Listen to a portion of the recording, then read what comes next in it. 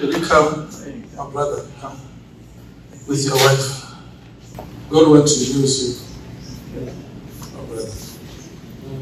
God wants to use you. And I'm very happy you are here today with your wife. I'm very happy. It won't be easy, but the zeal of God is eating you up. That you don't want anything now. Want God to use you. And the grace of God has started to work. So it won't be easy.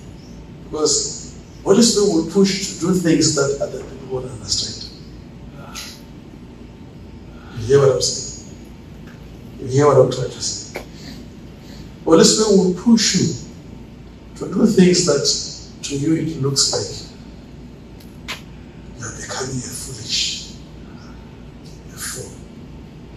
But today I want to pray for you and your wife. Stand together. Stand together. Stand together. I'm not saying standing like this. I'm saying stand together. Agree. Agreed. Agree that God can do it. It does not look at the age. You hear me say? Because I heard that you must pray your wife. Pray for your wife and pray for you. You, God bless you. Thank you, Lord. Hallelujah.